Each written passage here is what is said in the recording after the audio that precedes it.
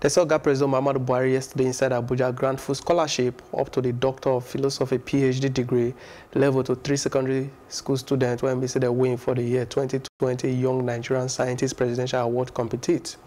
The scholarship day for any science-related discipline of their choice for any university inside the country.